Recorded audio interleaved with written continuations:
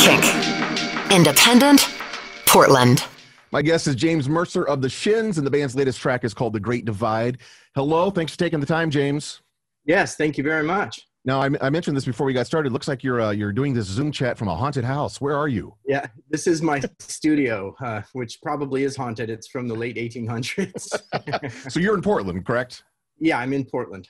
Awesome. Yeah, it looks like it's either a haunted house or it's like the greatest place to like just chill and listen to music and enjoy a vodka soda. Yeah, it's a good vibe out here. It's kind of a, it's my own little space. You know, it's it was an old carriage house. And so is this where you retreat? It is this where you retreat to when the uh, the girls are oh, yeah. doing online classes? Oh, absolutely. Well, you know, there's a lot of hand holding I've got to do during the day, but yeah, I can get out here. It'll ease my mind. So remind me, you have three daughters? Three daughters, yeah, six, wow. 11, and 13. And which of those is having the most difficulty with online school? I'm curious. Well, the six year old. Yeah. She, uh, it's just, I, I was telling somebody recently the other day, she had figured out how to put YouTube up while she's zooming with the teacher. So it looks like she's paying attention to class and she's watching mermaid videos. You know, brilliant. Yeah, she's clever. clever. That's fantastic. And are they coming to you for for for help? Are you having to play part time teacher? Yeah, um, mostly I handle the mathematics side of things. So my 13 year old who's doing algebra, and you know the 11 year old doing a little bit more basic stuff. Yes, I do that all the time. Well, somehow, in the midst of all of that, you've managed to put out some new music, The Great Divide. I like the story about how the song came to be. From my understanding, is it started with just a couple bars on GarageBand. Basically, GarageBand on our drummer Jon Sortland's uh, iPhone, and so we're on tour, and he's playing this. He's kind of playing little things here and there, but when he played that, it really struck me, and I started kind of humming, and a melody popped up really quick, and I was like, "Oh man, we got to do something with this." So, James, talk to me about the process. So, you have that melody, you have a few bars. Then, what happens next? Uh, then we get into the studio with it and kind of set it up so it's looping and I can riff on it some more. And then I sat down with the acoustic guitar and came up with a bridge for it. Um, you know, just things kind of pop. I mean, there was a moment there where I was like, we need a chorus, we need a chorus. And I came up with that, that what is basically the chorus. It's repetitive melody in the middle. So basically, you'll you'll just start riffing vocally. Obviously, yeah. all that's being recorded. Then you go back and listen to it and decide, all right, that that's the winner. Yeah, exactly. So it's like you know, scatting, kind of, I guess, is what they used to call it in the old days. Yeah. Yeah, Ella Fitzgerald. That's what she did famously. Yeah, I got a chance to listen to some early demos by U2, and um, and they do the same sort of thing. I was very, I was like, I thought I was the only weirdo who like scatted stuff to to write. That's right. So it's just like bippity bop boop boop you know yeah whatever yeah. whatever it sounds you know strange but you just kind of mimic what sounds like speech and i got to tell you the video for the great divide is nothing short of spectacular i mean i just I, I, I don't want to give anything away it's, it's it's it's a reverse zoom i guess is, is that what you would call it yeah it's it zooms in and zooms out it's just i mean the song to us felt pretty epic and so the video yeah. needed to match that that that scale and i think we we found it is that generally the, the procedure? Does an artist have a great deal of input on the on the video? Well, in this particular case, we did. And again, it was Jon Sortland. He's like our Swiss Army knife of a bandmate.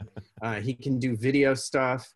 So he handled the video production for the James Corden show that we just did, and it came out just great.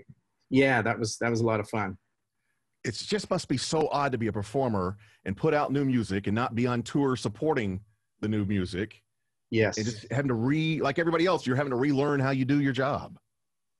Yeah, totally. You know, you got to figure out all of these new ways to communicate. Um, the other thing is that I am pretty old fashioned. So for me, you put out a full length record and then you tour for a right. year, you know? Right. Um, and so without that capability right now, I just don't know if I'm too worried about finishing a record you know, at the moment. The one thing I do have going is Broken Bells. So we're, we're really close to a, a complete album. So I think we're going to try and find a couple weeks to work together again. Awesome. And of course, you're talking about uh, Brian Burton, Danger Mouse. Yeah. Can you give us a time frame when we might hear new Broken Bells music? Well, I know when we plan to get together, and it's in January. We're hoping to have a couple weeks there. Um, but you know, it is so difficult to predict when the record would come out after that. I, you know, I could say the fall, I guess And are, are there plans to release more Shins music? More Shins music has been written, and some of it is in the can already. Um, I just, like I said, I don't know. I've got to do the Broken Bells thing, and um, and you know, hopefully, when we can tour, you know, I'll have a better drive to finish stuff. Well, speaking of touring, I know you're very involved in an organization that we've also been involved with this year. It's called Save Our Stages. For folks that aren't familiar, can you just kind of explain what it's all about? Yeah, you can go to saveourstages.com, and the National Independent Venue Association has put this together. They're trying to put through legislation to get some of the stimulus money to help out these little clubs, the, the place I started, the place everybody, the places that everybody starts, you know?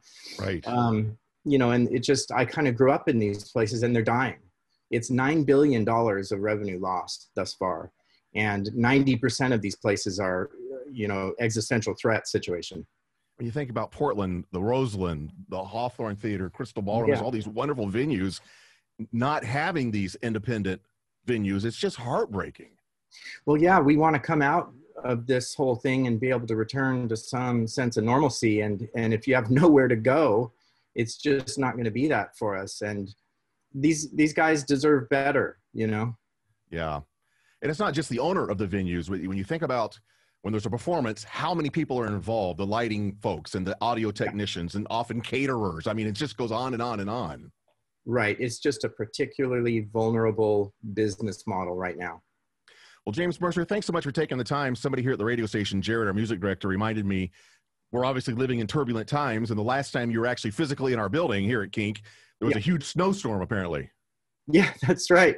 Yeah, good times. It was nice and cozy inside, though. so we only talk to you when it's uh, you know, crazy times apparently.